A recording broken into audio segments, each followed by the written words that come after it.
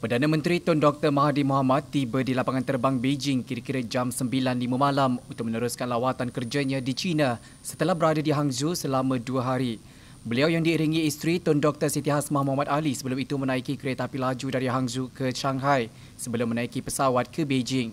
Ketibaan Perdana Menteri dan isteri disambut Menteri Luar China Wang Yi.